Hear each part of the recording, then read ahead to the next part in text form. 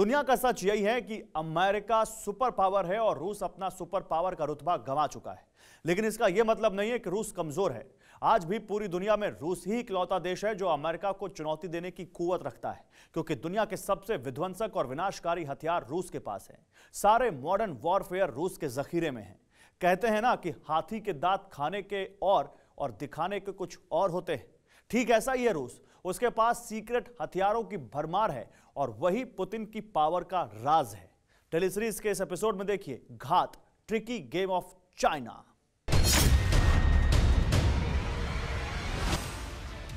Jinping Putin को जश्न का मौका प्रेसिडेंट ट्रंप ने दिया था।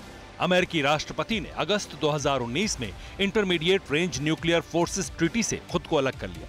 इस बंदिश के खत्म होते ही चीन रूस ने लॉन्ग रेंज मिसाइल धमाकों की झड़ी लगा दी।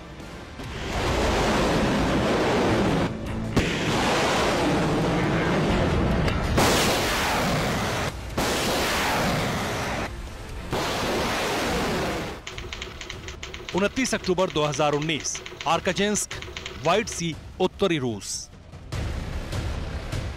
परमाणु पनडुब्बी के 114 तुला सफ़ेद सागर में गोते लगा रही थी।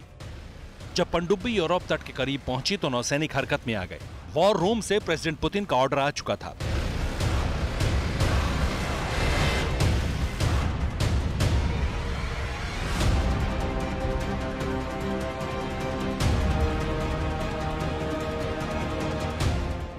सबमरीन के 114 से बैलिस्टिक मिसाइल लॉन्च की गई।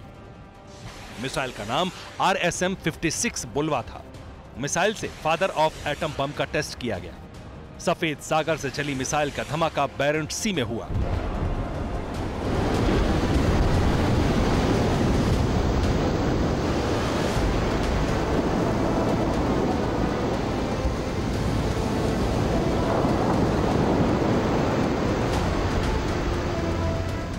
जिसके साथ विनाशक हथियारों की होड़ में रूस सरताज बन गया, जिसके पास सबसे विध्वंसक, सबसे ज़्यादा एटम बम है।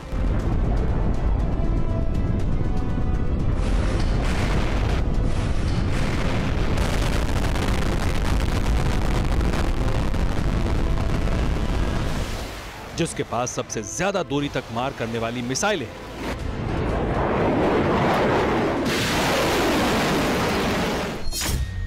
जिसके पास दुनिया का सबसे दमदार डिफेंस सिस्टम है। पुतिन की मिसाइल तरकश में छह ऐसी मिसाइलें हैं जिनके एक वार से दुनिया दहल जाए।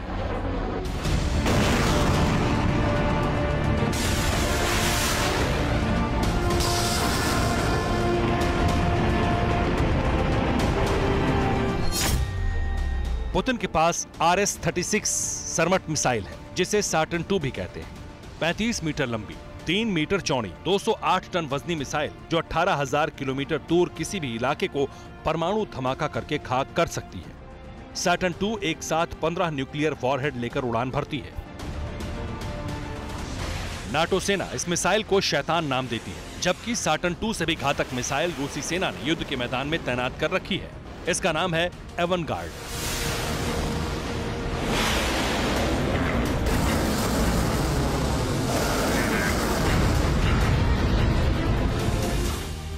यूराल की पहाड़ियों में पुतिन की हाइपरसोनिक न्यूक्लियर मिसाइल दिसंबर 2019 में भेजी गई।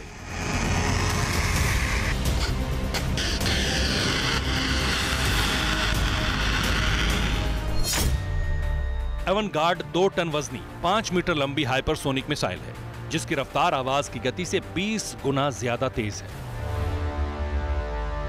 रूस के हाइपरसोनिक हथियारों में एक मिसाइल किंजल है, जिसकी डिटेल रूसी सेना ने साझा नहीं की है। रूसी नौसेना के पास ऐसी न्यूक्लियर मिसाइल हैं जिसके इस्तेमाल में किसी सैनिक की ज़रूरत नहीं पड़ती।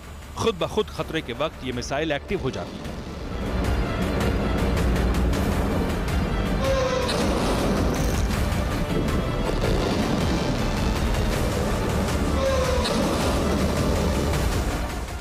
रूस की इंटरकॉन्टिनेंटल मिसाइल जखीरे में आर टी टू टोपोल को भी महाविध्वंसक माना जाता है, जिसकी जद में दुनिया का कोना कोना आता है।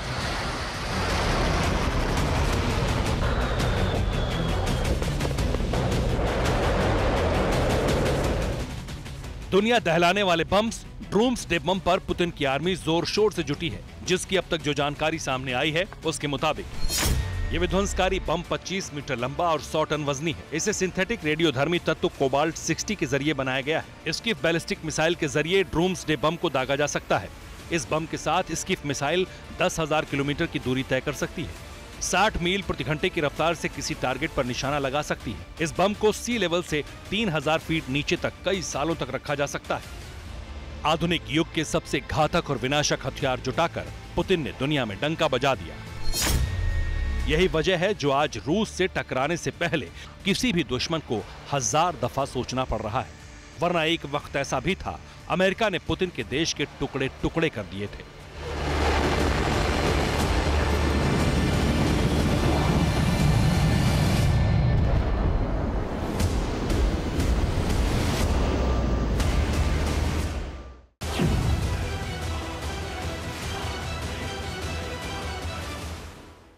परवाह देश की।